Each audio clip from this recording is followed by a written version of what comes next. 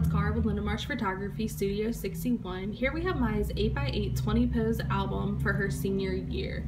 As we pick up Maya's album, you can feel how smooth it is. You don't have to worry about fingerprints getting left on the front. As we turn it to the side, you can see how nice and thick our front and back covers are. So you don't have to worry about your portraits getting ruined on the inside. As we turn to the side, it's included with your name and the class that you're graduating. And on the back, we have Linda March Photography Studio 61. So as we open up Maya's album, we just have a blank piece of paper. This is just to keep your pictures protected.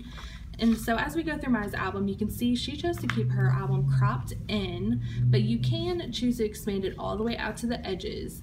So as we're looking and you touch the pages, you're not leaving those fingerprints, so you don't have to worry about family as they're flipping through your album, messing up your pages. The pages are nice and thick, so you don't have to worry about them getting crinkled or folded.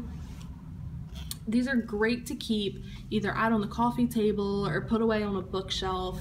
They're timeless and endless. You can keep them forever.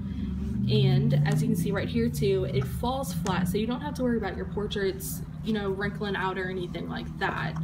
These are great to pass down, to take to college, keep it home with mom and dad, anything you want to do with them. The sky's the limit.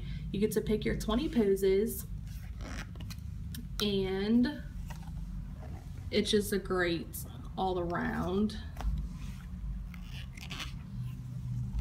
So here we have Miss Maya. She's a drum major at Lakeshore.